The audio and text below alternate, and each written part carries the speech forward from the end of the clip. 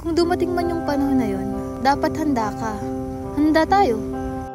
Sa kabaliw, ano ka ba? Ang dami na nating pinagsamahan. Sa tingin mo ba, ganun-ganun lang kadali matatapos yun? Giliw Kung pahintulutan mo Pero alam mo, na-realize ko na pag dumating man yung panahon na yun, Ano?